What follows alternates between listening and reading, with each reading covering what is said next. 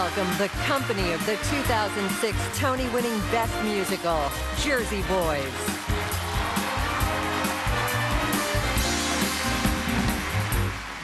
Who would have thought that four guys singing under a street lamp back in Belleville, New Jersey would one day become ubiquitous? That our rags to riches To rags, back to riches. story would become a Broadway musical at the August Wilson Theater. And it all started the first time the four of us made that sound. Our sound. This year, there's another triumphant story about beating the odds, shattering barriers, and making us move to the music of Berry Gordy's Hitsville, USA, and it's happening about six blocks away from us. In Detroit. This is their sound. This is Motown.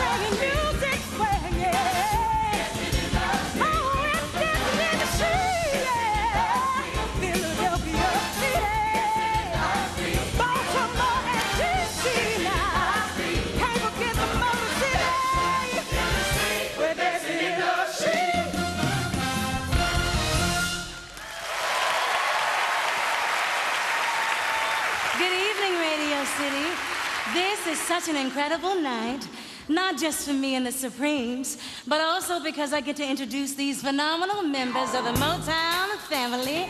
Ladies and gentlemen, please welcome the Jackson Five.